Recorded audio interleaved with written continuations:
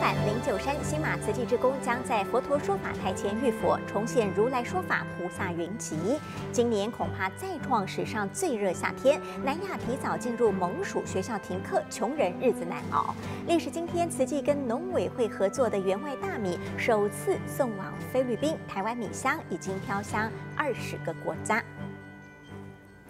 电视机前的观众和收看网络直播的朋友们，您好，欢迎收看《大爱夜安新闻》，我是陈竹启。天气越来越炎热了，台湾这几天经常传出食物中毒，提醒您饮食安全要格外小心。至于呢，在三月份所发生的宝林茶室中毒事件，累计通报三十五个个案，已经有四个人不幸的病逝了，还有两个人还在加护病房奋斗当中，其中呢。唯一有一位传出好消息的是这位黄女士，她在住院二十二天之后呢，终于在鬼门关前活了回来。黄女士面对着镜头侃侃而谈自己这一段时间的心路历程，同时也为两位还在加护病房搏斗的病友们送上祝福。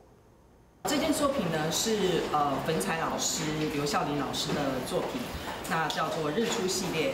看着一幅画就能侃侃而谈，以黄淑君现在的状态，很难想象这一个月来经历了宝林茶室中毒案，一度住进加护病房。住院的时候，实际上我的黄疸很严重，基本上那时候是连眼白都不见了。每一两个小时呢，就有护士要来量血压跟血氧，点滴是从早打到晚。然后要就是三餐。那时候我只是想到说，我还很多的梦想，就是没有达成。那我一定要活下来。这是我等了很久的一刻。我觉得我的命真的是你们救回来了。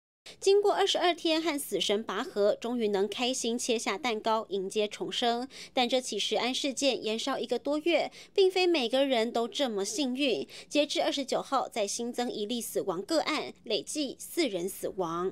最近这几天哈，他的那个肺部的感染变严重，败血性休克的状况也变得比较严重。之前他们又签署了拒绝心肺复苏急救的一个。一个同意书，所以并没有进行 CPR 等等这些急救，已经是呈现一个不可逆的状态了哈，那所以就是很不幸的过世了。至于在加护病房的重症患者还有两位，其中一位已经完成换肝，肝脏功能逐步复原；另一位则因为意识状态模糊，还要观察决定后续治疗。我们大家会帮你集气加油，然后希望你就是抱持着希望，坚信自己一定可以战胜。这场战役。大爱新闻林依婷、李建宽综合报道。在花莲凤岭，这位身穿红色衣服的阿妈患有中度的智能障碍，加上轻微的失智了。她的房子在地震过后受损，慈济前来修缮，还帮阿妈剪剪脚指甲，并且带她去理发，清清爽爽的。修缮志工走进家里，才发现这个家两年前曾经失火，志工已经来修缮一次了，因此这回见面是一见如故。凤林镇老屋子仿佛在诉说他的斗志。我们现在是把它那个那个裂缝哦，把它补，把它灌结实一点。那个水泥哈，水泥啊，再灌进去，补满，把它补满，再擦油漆。哦，当下一摇晃的时候蛮严重，啊，一看起来摇晃蛮严重，当下最担心就妈妈。要守护的是他八十岁壮阿妈，中度智能障碍，患有阿兹海默症及甲状腺肿大。生活无法自理。没关系啦，你看你没有伞。我从我有意有意识的时候，他就是这样，这样大大的。有，他好像有越来越，那怎么办？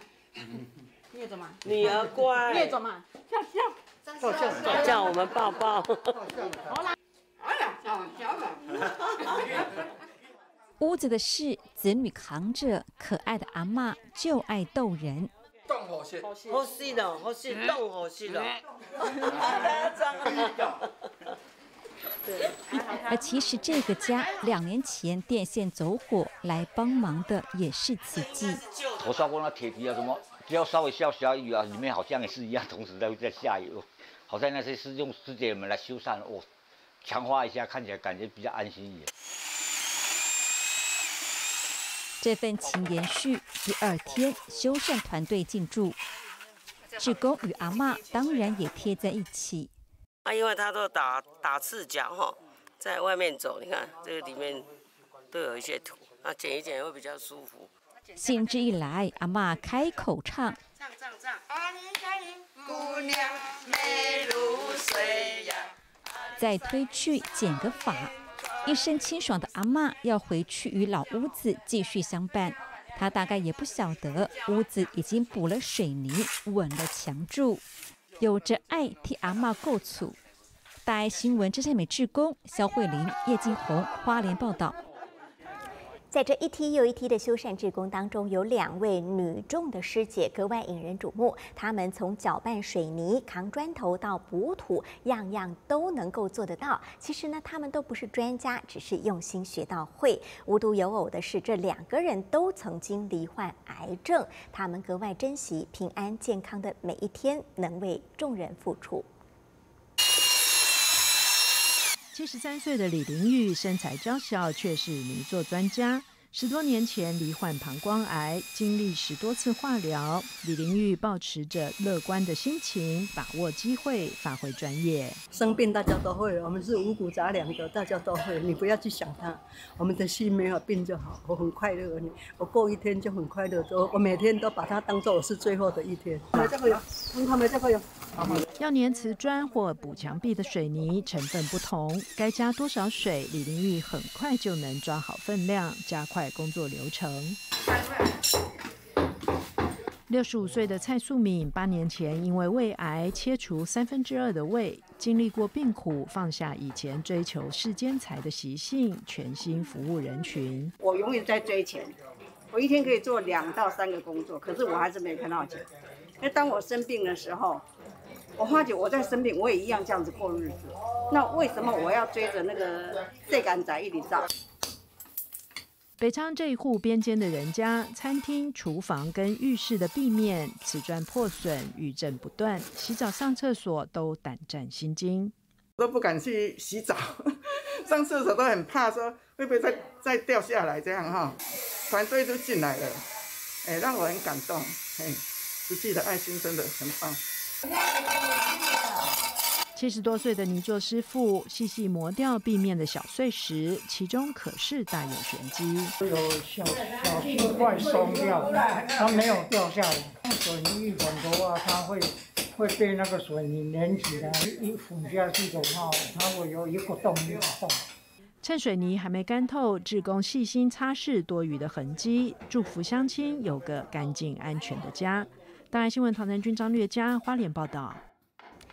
强震过后到现在，通报需要此际修缮的房子有三百零五间，目前已经完工九十七间，动员的职工就有两百五十八人。其实修缮过程是非常不简单的，需要各个团队、各种不同的专业相互补位，甚至有的职工是专程从台北开着自己的修旅车来到花莲，车子一打开，满满的是堆叠整齐的各种修缮工具。这一位蔡明宏师兄呢，本身是一位厨师，他说。从九二一开始累积了修缮经验，一直到现在，所有事情都是从不会学到会。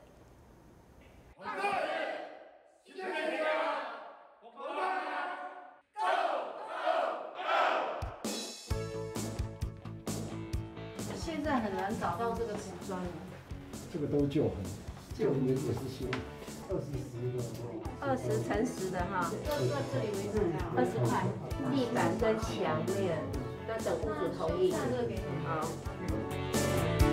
在敞开的过程里面，我们如果觉得立即性可以协助的话，那会请他签一个同意书。那我们也会建立在我们的手机上面一个记事本。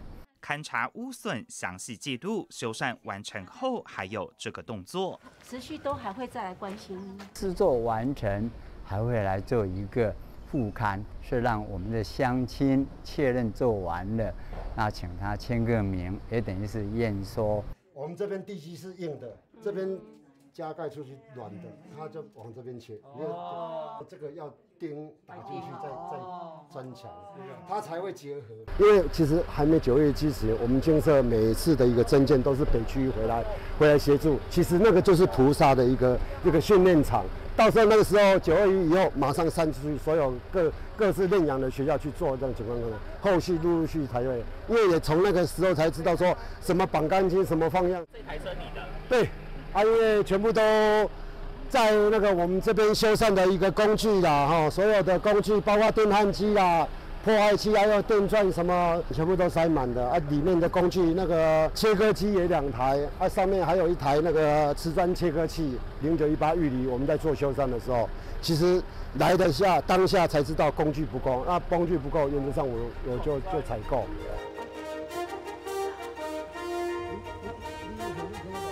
天气闷热，整天下来，衣服布满汗水结晶，成了常态。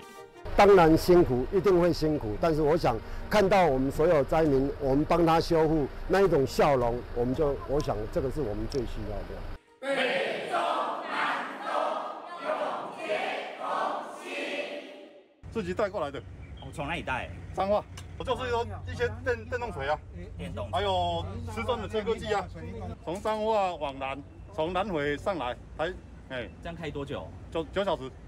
哇，不累。轮流了，有轮流开了。路上小心。中部接力爱，Go！跨区爱接力，棒棒相传不落地。大一新闻肖志杰、刘宏志，花莲报道。好，相信花莲乡亲都会记得他们。地震中有一群另类受灾户，他们就是泰鲁格西堡国小的学生。学校现在暂时回不去了，他们来到平地就读，希望赶紧回到森林中休息一会。三分钟广告后，回到新闻现场。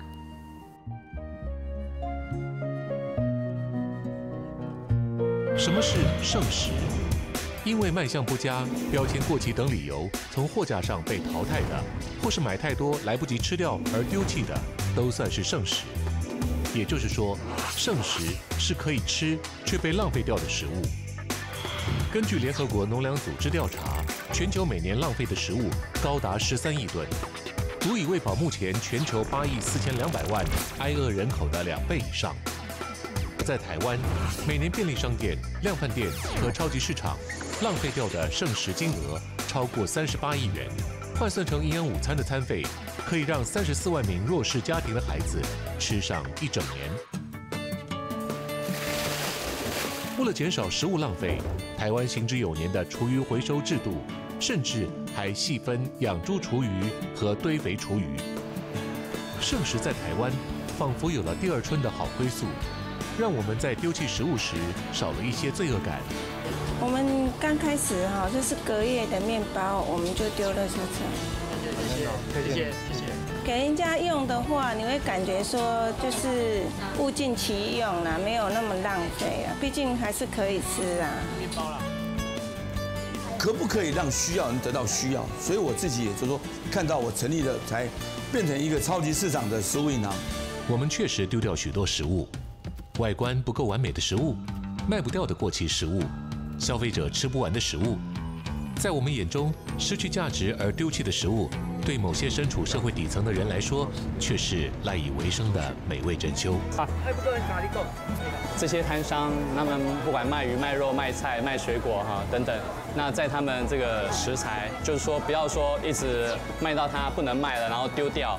那如果他们愿意的话，在那个食材还堪用的情况下，能够捐出来给我们雾峰在地的社区发展协会，来把它烹煮哈之后，然后给供餐给当地的老人家吃。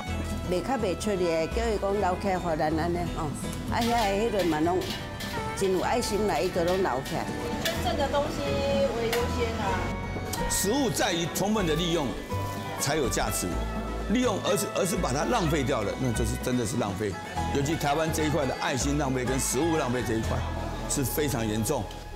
其实社区化，向外募集剩下的食材做成了饭菜，供弱势的独居老人温饱，利用剩食温暖了人心，也找回了食物最原始的价值。食物是许多人辛苦生产出来的，更遑论世界的某个角落，还有许多人正在缺粮，无法温饱。了解食物的来源与珍贵，培养珍惜食物的心，就是减少浪费的简单开始。欢迎回到新闻现场。不知道您是否做好准备了呢？科学家告诉我们，今年夏天北半球会再创历史高温。我们光是看过去一年的气温统计，不难发现温度确实在节节攀升。从去年的七月份开始，地球温度就已经超过了工业革命之前，升温达到了一点五度 C，而且是一去不复返，温度一直往上升。到了二零二四，这条黄色的曲线你可以看得更清楚了，它的温度直逼两度前。前进高温会造成什么样的影响呢？首当其冲的是农作物可能会因此欠收，水资源的匮乏会引起抢水大战。再者，对于工位、人体健康造成威胁。最后，当然是炎热用电量倍增，会对能源也形成了挑战。光是南亚国家现在都还没有进入真正的夏天哦，就已经有四个国家他们的气温因为飙破了四十度而宣布学校全面停课，改采远距教。教学，只不过在这个最热的时刻，孟加拉明明已经发布了高温警报，政府却突然宣布要恢复实体上课，孩子们挤在闷热的教室里，很容易中暑，让家长相当担心。না বাচ্চা আমার ছোটটা তো আগে ছুটি হয়ে যায় বড়টার দেরিতে ছুটি হয় বসে থাকে অনেক কষ্ট মানে আমার বাসা আরো দূরে 学生家长也不知道这个政策到底为了什么，在外头踩三轮车的车夫和乘客都热到受不了，只好撑着伞带孩子们去上课。孟加拉政府在连续停课好几天之后，突然宣布要全面复课了。现在呢，孩子们只能在大汗淋漓之下，冒着接近四十度的高温、中暑的风险回到学校去。好，我们再来看到的是印度。印度的酷热现在是南亚国家当中之最，所以方方面面的影响百姓的生活。刚才提到，尤其穷人会被影响最为严重，因为他们的家里可能没有冷气，也许连电风扇都没有。外头做生意的小贩，从卖菜的到踩三轮车的，都苦不堪言。当然，炎热也影响了印度的选举，因为呢，现在是印度国会大选第一阶段选举刚刚结束，投票。率硬是比上一次要少了百分之四，分析认为是太热了，人们连投票都懒得出门。烈日当空，不止人要撑伞，水果也要遮阳，没办法撑起阳伞的摊子，只能克难因应。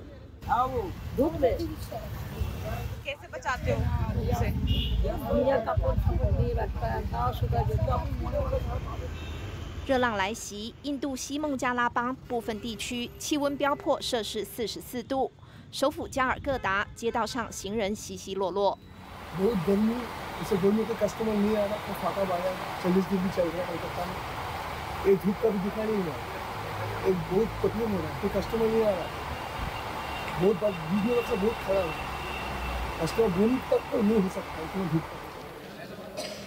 天气太热，不止影响出门兴致，更浇熄了投票意愿。号称地表最大规模选举，印度长达六周的国会大选，十九号起的第一阶段投票，投票率只有百分之六十六，比二零一九年下跌了近百分之四。那时媒体就猜测高温是罪魁祸首。二十六号展开第二轮投票，依然不见起色。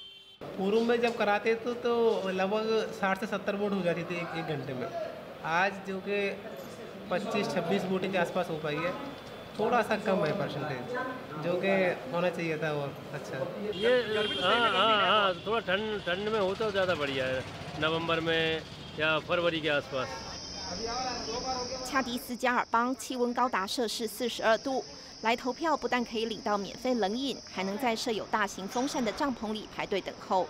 但七阶段投票将持续到六月一号。 随着气温节节高升，如何避免选民热情不升反降，将成为政府的新课题。大爱新闻江玉婷编译。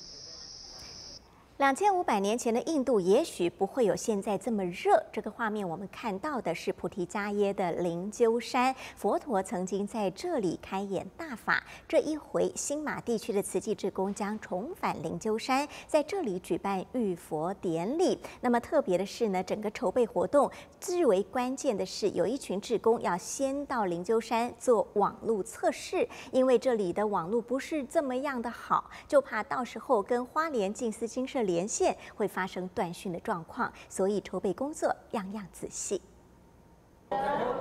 中文、印度文加上罗马拼音的大字报贴在墙上，大家跟着慈济志工勤练手语。这是四月中旬之后，印度普迪加伊会所每天人声鼎沸的景象，为的是准备五月二号慈济五十八周年的生日礼物。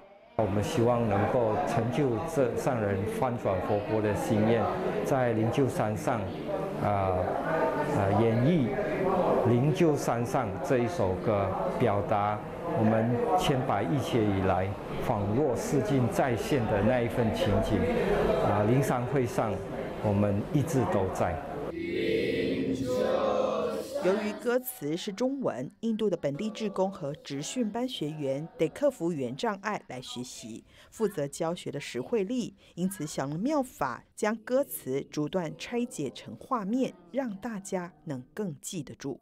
这是有鸟飞到山上，然后那个灵鹫山上的地方，我们跟上人说，OK OK，这个法缘不会但会永续下去。然后又说，哎，佛陀在说法的时候，我们要打开书来看，所以就给大家有这样子的一幅幅的画面，然后就有佛要说，哦，这样更加记得说，哦，有原来有这样子的动作。这份礼物除了展现佛乡志工团队的人文凝聚力，另外要克服的就是网络的稳定性。志工采购了当地的 WiFi 路由器，从山下往上走的过程中就一路测试。排几个人呢？这样，因为这里的网络啊是很差、很很很弱。如果有大风啊啊的时间啊，它的网络都会啊减低啊，啊也不顺利啊。所以变成呃，我们就是要一直在看啊，哪一个角落，哪一个啊点比较适合，所以我们就是要用一段时间来试。纵使困难重重，佛乡的志工团队依旧想方设法逐一克服，期待这份周年礼物能圆满重现当年佛陀说法的庄严景致。大爱新闻真善美志工杨文辉、杨秀春、涂贤照印度报道。零四零三的花莲强震发生之后，有一群另类的小小受灾户，他们就是位在泰鲁格山区里面西堡国小的学生。因为当时中横交通中断了，所以他们受困在学校里头将近一个星期的时间。当时的饮水跟食物都是靠附近的村民来帮忙。不过老师很用心的安住学生的心。现在他们终于脱困了，但是学校暂时回不去，所以所有学生都来到平地。秀林乡的富士国小暂时就读。其实西宝是一个很特别的学校，它位在中横的一个台地当中，算是泰鲁阁比较偏远的地方。可是呢，西宝是台湾第一所公营的森林小学，依傍着青山绿水，就成为他们最好的教材。这个学校在海拔九百多公尺，学生只有四十五人，老师十五人，加起来师生六十人，是全部住在学校里头的。学校强调的。是所谓的三生教育：生态、生活跟生命教育。每一个西宝的孩子都非常的特别，因为他们的成长历程跟一般的孩子不一样。开心逗趣的表情，小朋友笑逐颜开，暂时忘却了地震的阴霾。会不会害怕？不会，因为现在都没有地震了，大部分都没有。绕过半个台湾，安置在富士国小就读的西宝国小学生，童言童语也说出了内心话。这边上课会比较安心？不会啊，每个班都一起上课啊。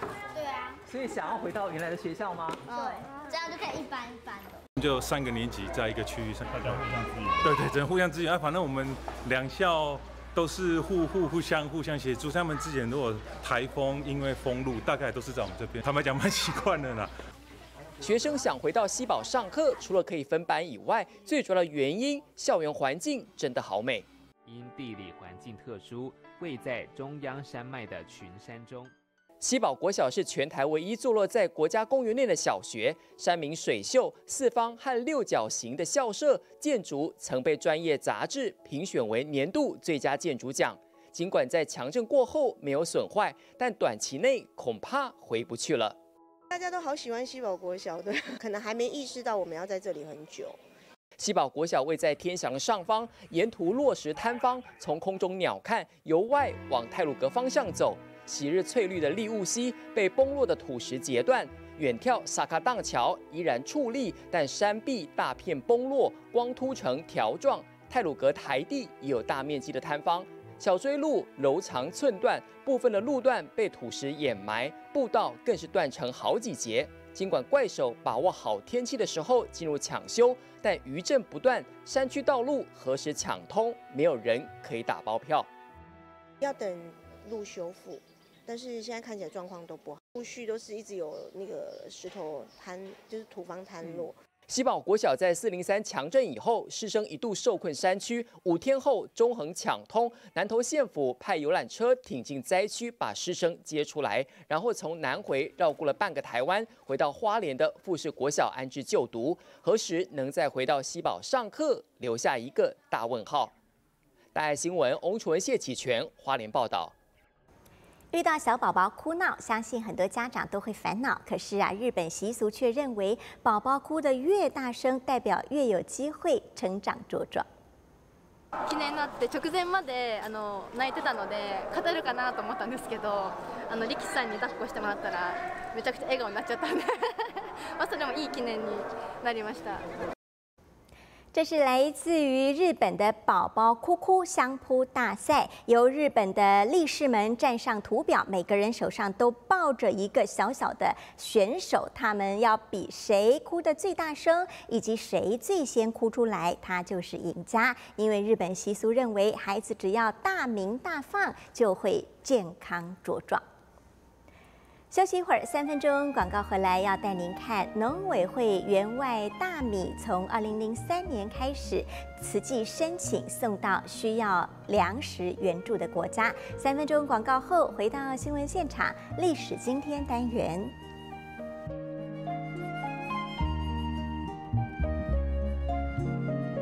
花素不是吃花喜而已，开口动舌无不是法。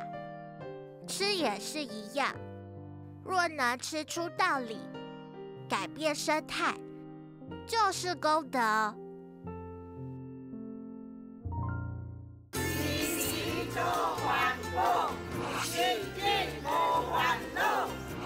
微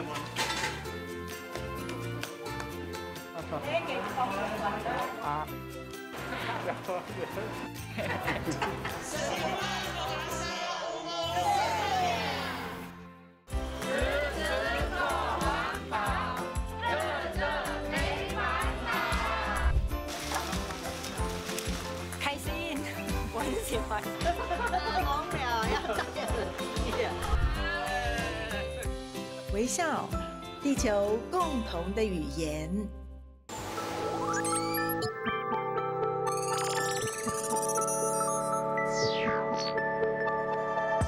营养不足或营养过剩，都称之为营养不良。偏食、挑食或摄取过多的脂肪与糖类，都会使体内缺乏适当的营养素，对健康产生威胁。会剩食通常都是挑食所造成。我们在配打的量，就都先打小朋友，就是大概他的一个需求量。点餐的时候，我就会提醒他，你这样子点会不会太多了？对，然后他们一开始就可以选，譬如说他只要三分之二面，他只要一半的面量等等，就是他刚开始就可以选择他要减量。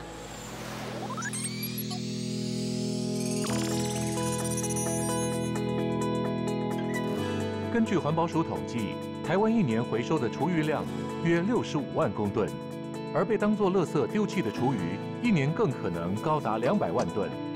如果每个家庭都能做好厨余回收，不仅可以减少垃圾量，更可以借由厨余再利用，让剩食再回到餐桌。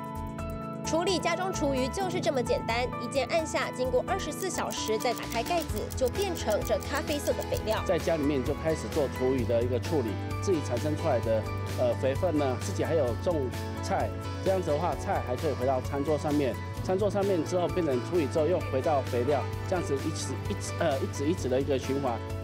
根据台大公布的统计数字，台湾每年损耗的食材量约三百六十八万吨。平均每人每年浪费一百五十八公斤的食材，高居亚洲第一。每样农产品都是农民的辛苦结晶，要爱护农业，滋养大地。首先，不要浪费食物，从日常生活开始做起。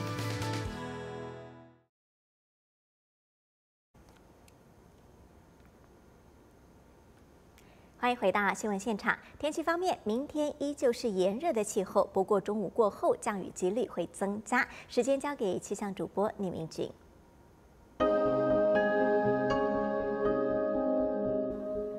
气象看待陪您聊天气，大家好，我是李明君。今天各地多云到晴，好天气，云层集中在中央山脉。大多数地区都可以看到阳光，而今天最高温在台东大武三十六点七度，主要是焚风的关系。接下来是台北市信义区三十五点八度，和盆地效应沉降作用有关。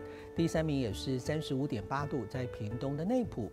而明天白天和今天一样热，气象署发布了高温预警，台南、高雄、屏东还有台东都可能出现三十六度以上的高温。一周降雨预测，先看到明天。明天下午开始，封面接近水汽增加，中部以北、宜兰花莲还有各地山区有短暂阵雨或雷雨，越晚降雨几率越高。明天深夜封面通过，降雨会更加明显。而周三、周四几乎全台湾都会有阵雨或是雷雨，西半部、东北部较大雨势，甚至可能有短延时强降雨，要预防积淹水。由于台湾的五六月通称为梅雨季，周三刚好是五月一号，因此是梅雨季影响台湾的第一道封面。而周五东北季风减弱，温度回升，但是水汽还是多，东半部和西部山区依然会有短暂阵雨。周六周日转东风或是东南风，各地温暖多云到晴，山区。还是会有短暂雷阵雨，迎风面东半部也会有短暂雨。So follow me，为您掌握天气的重点。明天下午开始，封面接近，各地降雨几率增加。晚上开始，北部、马祖、绿岛和蓝屿还可能出现八级的强阵风，而马祖明天还是可能有雾或是低云影响能见度。首波梅雨封面，周三报道局部有大雨，要赶快疏通沟渠。而周三这一天也会降温，北部低温可能只有二十一度。接着来关心各地详细的天气预测。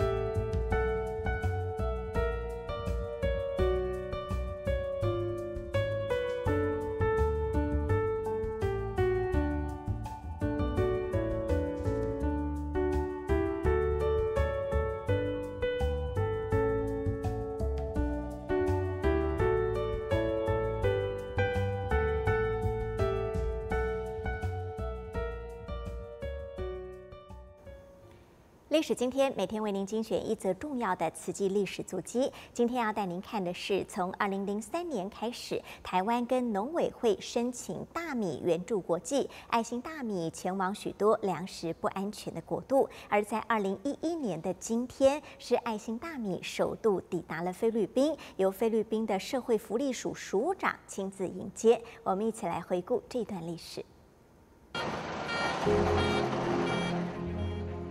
二零一一年四月二十九号，台湾白米人道援飞，印有慈济标志米袋从货柜搬下，农粮署在台中港随即抽检。啊，它热损率呀，它的未熟率，我们都给它做仔细的分析。哎，刚刚分析的结果就是符合国家的标准。迎着上人哦，就是以我们最喜欢的东西才送给我们的乡亲，这样。慈济向农粮署申请六千八百公吨白米援助各国，其中一千五百公吨送往菲律宾。Matutuwa sila na makatanggap ng mga ganitong biyaya ng ng chuchi. Love from Taiwan, really, it's love from Taiwan. To help in the hunger situation, especially of the very poor in our country. 白米香。爱心味串起台北爱的连线。慈济向农委会申请大米，始于二零零三年，第一个送往国度是印尼。那个年头，印尼的贫穷率大概占了百分之十七。有了白米援助之后，他们省下来的买米钱就可以让更多的孩子读书。而在东非国家莫桑比克，每一次的领米都伴随着他们乐天知足的歌声。至于西非国家狮子山，虽然盛产钻石，但是一颗钻石却换不到。到一包白米。亚洲国家柬埔寨靠着拾荒为生的老太太，终于也领到米了。这一包米让她今天晚上不用再捡垃圾为生。再看到的是海地，海地被称为是世界上最贫穷、治安也最差的国家。一包白米让他们终于露出了笑容，而这一包包的米其实上头都印着来自台湾的爱。这一包米就像是移动的名片，所到之处都让人对台湾铭记于心。Jean pil mes avèk ma stek ap pons avèk ket ma isyan, ma li res bak ap ap yo. Gen set pitit pitit, di a isin mwen bisi moun yo, an pil. Kadi sa achete pou mda achete la mache. Men li fèm gado l gratis, mwen di pe a mersi an pil. A lot peyi ki la nman de ed la, gbal ed la tou. Mersi beaucoup. Pase se volek pou pep mwen et mwen, pou pe tout do ma kout mwen chet.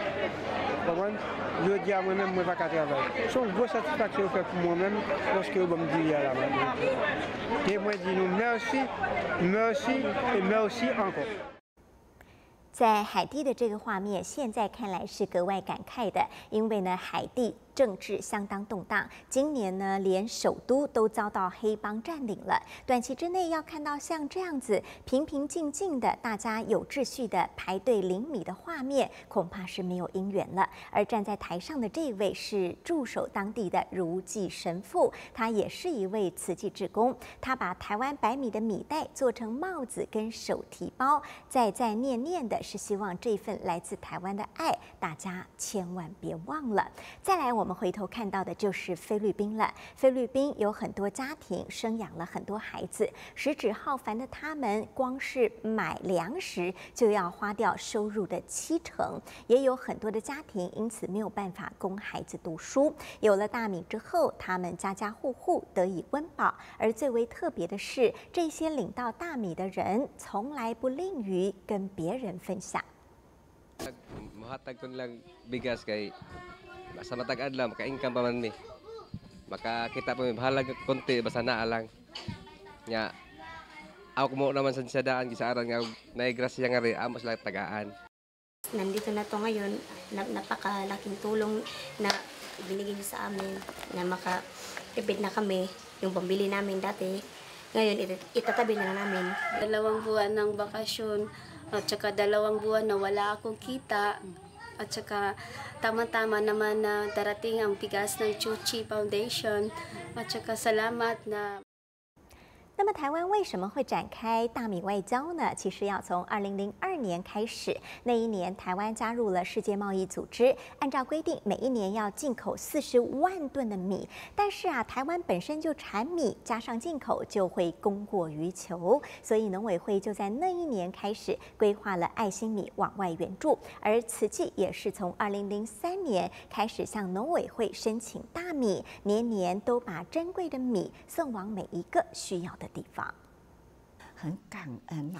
从两千零二年，我们台湾呢也已经有这样的一个发布出了，那可以呢，台湾有米粮可以啊做国际救灾的，那我们就提出了申请啊，零三年呢就开始，两千零三年。那就五万吨的米呀，就给了印尼。那印尼呢，都分成了三年多呢，这样所需要的穷人呐，给他们哦，可以看到了台湾爱心米呀，这在很多的国度。啊，咱的米毋是交互政府，咱的米呢是伫迄个所在是亲手交到所需要的人的手中去，到每一户行卖出来的人的厝里去。这些台湾米去到迄个所在，一粒都无好刷掉去，没有让它漏掉啊！这都是很诚的。百米援助是细水长流的慈善外交。到目前为止，百米已经送往二十个国家，超过十五万吨，一粥一饭，当思来处不易，这是粒粒皆珍贵的祝福。这就是历史今天带您回顾爱心米的外援。接下来带您看的是台南的荣民之家捐出了两百五十件辅具，由此际回收清洁再改造。走过七十二年，台南东区荣民之家将功成身退。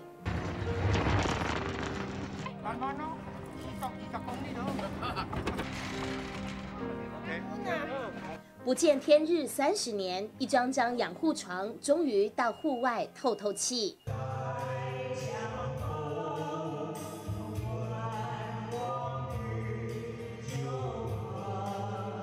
老长辈满心期待乔迁之喜，欣慰旧床还能再利益众生。除了床之外，还有很多轮椅啊，都可以爱心的延续。很感恩这个社会蛮不错的，照顾弱势。来哦，要关，要关。拆掉省空间，人车它不会滑动，安全。拆卸到组装，机械变电动，他们都将改装重新升级。